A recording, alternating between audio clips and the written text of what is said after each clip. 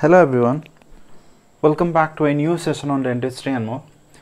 Today's topic in oral pathology is pemphigus vulgaris and bullous pemphigoid. The names are a little bit same but there is a lot of difference between these two autoimmune blister formation skin disease and along with that we'll be learning what is Nikolsky sign and what is Tzanck test or Tzanck cell. So let's see the basic differences between pemphigus vulgaris and bullous pemphigoid.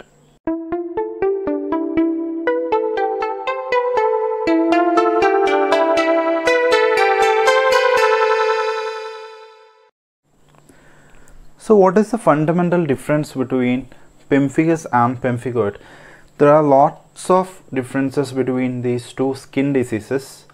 The common thing is these both are autoimmune diseases. We know what is autoimmune diseases.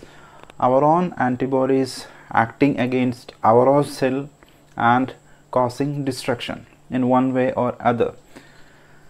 So pemphigus and pemphigoid both are autoimmune antibodies but the mechanism of blister formation is different. In pemphigus it is intradermal blister formation. We'll go into detail later. Now let's see what is intradermal. It is like the acantholysis that is the detachment of cells that is the cell adhesion is lost between the cell layers that is between the epithelial layers. So the basal layer is intact here. The basal layer is intact here. So it is forming within the epithelium that is intradermal blister formation. So it is forming within the epithelium. But in pemphigoid the epithelium is not affected. You can see the basal layer is here and all the other layers are here. There is no much problem in within the epidermis but the problem is the epidermis and the basal membrane. So it is subepidermal. This is intraepidermal blister formation. This is subepidermal blister formation. So that is the unique difference between these two. So this is forming within the epidermis. This is underneath the epidermis that is between the basal membrane and epithelium. So that is the difference between pemphigus and pemphigoid. Now let's see the other differences. The pemphigus vulgaris which is seen common in younger patient but whereas the bullous pemphigoid it is high incidence seen in elder age group and this is mucosal involvement is very common and oral lesions but in pemphigoid the mucosal involvement is very rare and there is no oral relations because it is a very deeper relations. Because as shown here so if you know this concept explaining these differences is very much easier.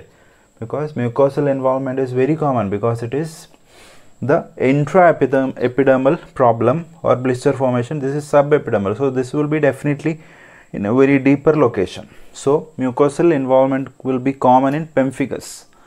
Pemphigoid it will be very rare so the antibodies so i said it is an autoimmune system.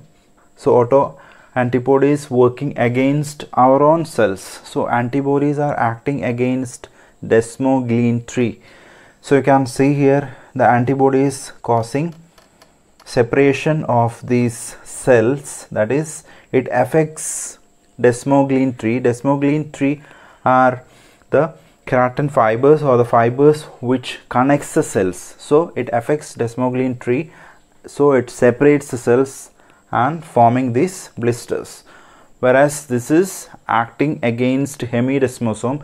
Hemidesmosomes are structures which keeping the basal membrane and epithelium close together. So it acts here between hemidesmosome attachment that is between the basal membrane and epithelium so the pemphigus is intraepidermal blisters that is superficial. So I explained to you in detail that is intraepidermal whereas the subepidermal deep blisters are seen in pemphigoid. This is deep blisters and subepidermal that is underneath of epidermis this is intraepidermal. The blisters are flaccid and rupture very easily because it is superficial. This is very tense and firm because it has a thick layer of epidermis over the blister. But here the layer is not very concrete so very firm. So it is easily rupturable the pemphigus so that's why i was saying if you know this concept it is very easy to understand. Nikolsky sign is positive and Nikolsky sign is negative. So let's see what is exactly Nikolsky sign. It was uh, put forward by a scientist Nikolsky the thing is when we apply lateral pressure so when we apply lateral pressure or a shearing force the skin ruptures. That is Nikolsky sign.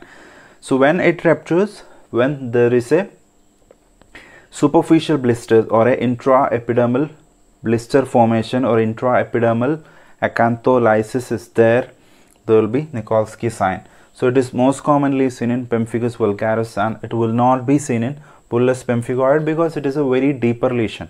It has a thick epidermis above the blister. So if you apply lateral pressure or shearing force there will not be any loss of or any rupture of the superficial skin. So that is Nikolsky sign.